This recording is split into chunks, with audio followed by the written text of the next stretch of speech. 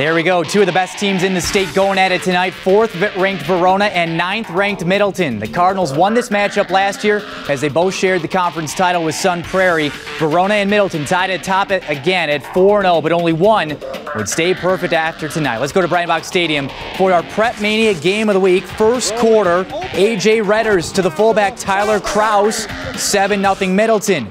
Then Verona announced their presence. Can't find the ball? Yeah, neither can the Middleton D. Dom Wise goes 64 yards to the house. That makes it a 7 7 game.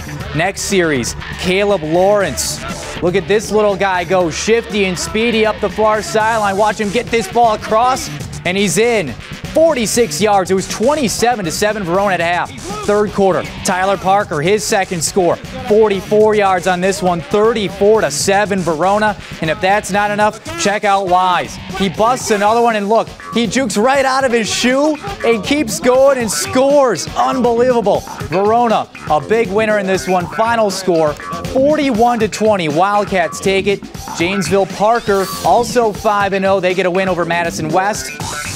It'll be Parker and Verona next week in Verona. That'll be a huge game there. Also, an exciting win on our Prep Mania game of the week. Verona wins at 41 to 20 over Middleton, and sports director Jay Wilson caught up with winning head coach Dave Richardson after the game. Dave Richardson, the Verona coach. Wow, is all I can say. Did you did you have a feeling this was going to happen? Well, it, you know, we knew we were a pretty good football team when we beat Sun Prairie. I mean that, you know, Sun Prairie is going to be uh, ready to play, and you know, we just felt like this was going to be a great test for us. And, um, you know, we got down 7 nothing. I was a little worried, but then all of a sudden, boom, our three backs started to show their ugly heads. And you can't key on one. We got three guys who can take it to the house. You, you had your issues playing Middleton in the regular season. Is that something you had to get over to finally break through? No, we made no mention of that. We didn't. You know, it's just another week for us. We can't. You can't think about who you've won, who you've beaten, and who you haven't, and all that. We, we just we feel comfortable here. It's not like uh, we, we can't play well at any any facility. So no, we didn't even talk about that.